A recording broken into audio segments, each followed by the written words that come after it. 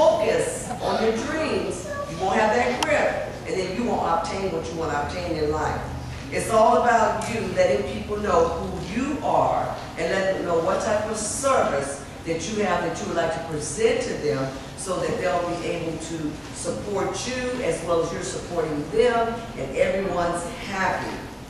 Winners, always remember this. Winners mess up, make mistakes, and experience tough situations, just like everyone else.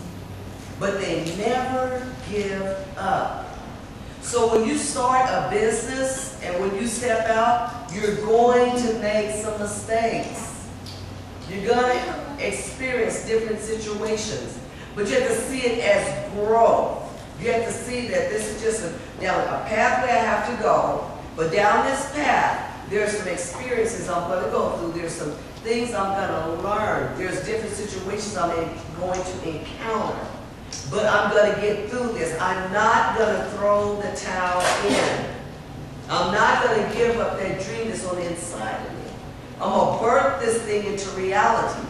So you have to be tough. You have to know that when you step out, there's going to be some obstacles. But don't let the obstacles stop you. The difference is in the way you handle mistakes in difficult situations.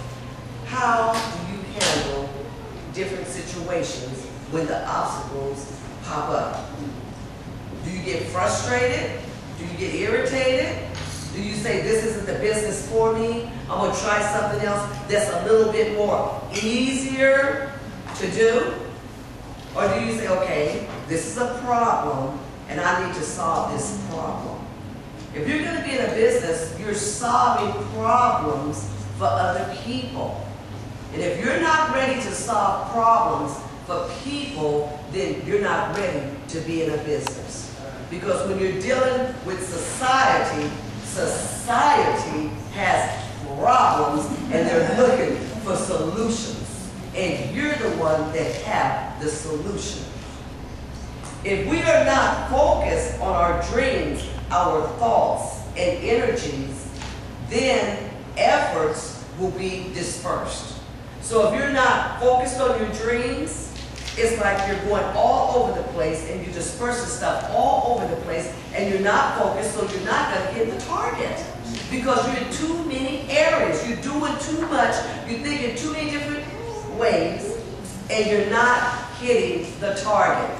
So if you're going to do your business, focus. If you're going to do your business, take time to sit down in a quiet place and see yourself with thousands of people purchasing your product. See yourself traveling all over the world, letting people know what you have that can benefit them. You have to see it. If you don't see where you're going with your business, you'll never get to where you want to go to. You have to see it first, because when you see it first, then it pulls you that direction when you see it first. So you have to see it. See it. You see it, then you present it. If you don't see it, then you won't be able to present it. Okay? We must focus on our goals to utilize our time and ability effectively. If you focus on your goals, you're going to say, I can't go and hang with that person today because I need to read.